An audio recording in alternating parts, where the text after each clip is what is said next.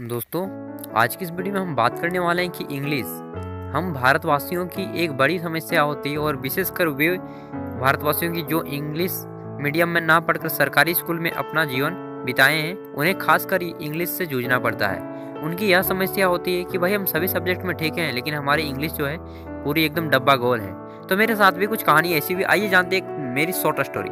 जब मैं टेंथ में था ना तो पढ़ने में बहुत तेज था। सभी में मेरे 95, 97 करके मार्क्स आए लेकिन मेरा जो सॉरी इंग्लिश का मार्क्स आया ना वो 46 है यानी 46 मार्क्स जिसके कारण मेरा स्टेट टॉप होते होते मैं बच गया। मुझे बहुत अफसोस हुआ। फिर मैं ट्वेल्थ में गया। ट्वेल्थ में भी मेरे सभी में 85, 87, 83 मार्क्स आए लेकिन मेरा इंग्लिश में मार्क्स आया 50 50 मार्क्स। और मैं फिर से स्टेट टॉप होते होते पीछे रह गया। तो मुझे बहुत पछतावा होने लगा कि यार मेरी इंग्लिश के कारण मुझे स्टेट टॉप की जगह नहीं मिल पाई। फिर मैं सोचूं कि आगे मेरा क्या होगा? अगर इंग्लिश ना सुधारूं तो सरकारी स्कूल का बच्चों का जिस तरह सभी का डब्बा गोल होता है, उसी तरह मेरा भी डब्बा गोल था। ठीक ना? तो आइए जानते हैं कि इंग्लिश को हम कैसे सुधारें।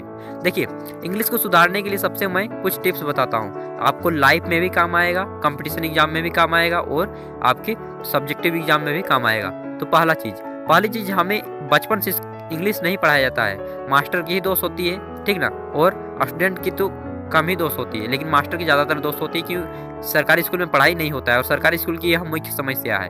किसी भी बच्चे से पूछ लो इंग्लिश में डब्बा गोल ठीक ना? तो पहली समस्या क्या है? इसका समाधान क्या है? पहली देखिए, पहली चीज़ आपको एक चीज़ करना है कि अपने मन से इंग्लिश का भय निकाल दीजिए। इंग्लिश 26 लेटर का वर्ड है, ठीक ना? जबकि हमारे हिंदी कितने 36 और चार संयुक्त अक्षर होते हैं, ठीक ना? तो उससे कितनी ज़्यादा है? तब जब हम हिंदी को एकदम फ्लुएंटली बोल सकते हैं तो इंग्लिश को क्यों नहीं? ठीक? तो पहली चीज़ क्या है कि अपने मन से भय को निकाल दीजिए इंग्लिश का। इंग्लिश एकदम रद्दी भाषा है, ठीक? इसे आप तुरंत ही जान सकते हैं, ये चीज़। पहला, भय निकाल दीजिए। दूसरा, इंग्लिश एक लैंग्वेज है, ठीक ना? इसलिए इसे आप सीख सकते हैं और दूसरे देशों में जाकर के एक अच्छा खासा पैसा भी कमा सकते हैं ज़रूरत पड़ने पर। देखिए, अब सुधारने की बात करें तो सबसे पहले सुधारना क्या होगा कि वहीं से शुरू करना होगा जहाँ से हमने खोया था। यानी कि आपको क्लास वन का बुक लेना है इंग्लिश का, ठीक ना? सरकारी स्कूल के ही। और वन टू फाइव का पहले क्लास इंग्लिश का बुक पढ़िए और लिखिए। पूरा मैं यकीन के साथ बोल रहा हूँ। जी ना, मैंने ही किया है, तब जाके आपको अब बता रहा हूँ, ठीक?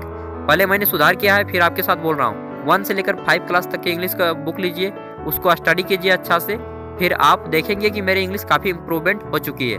पंद्रह से एक महीने के अंदर आपकी इंग्लिश इंप्रूवमेंट हो जाएगी, ठीक?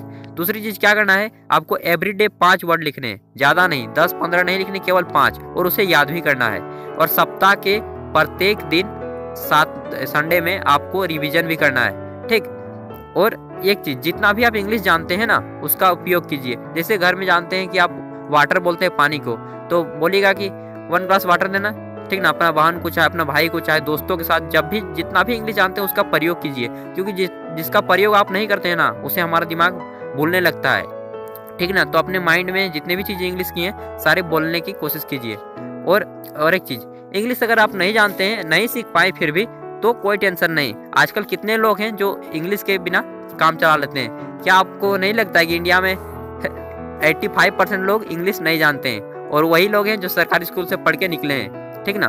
तो कोई टेंशन लेने की बात नहीं है इंग्लिश से भी काम चल सकता है। कोई आपको बोलेगा कि इंग्लिश पेपर न्यूज़ पेपर पढ़िए, उससे आपकी इंग्लिश अच्छी हो जाएगी। तो मैं बता दूँ, आप इंग्लिश पेपर न्यूज़ पेपर पढ़ने तभी सकेंगे जब आप इंग्लिश जानेंगे। इसलिए न्यूज़ पेपर के पल्ले मत पढ़िए, ठीक? ये सब काम कीजिए।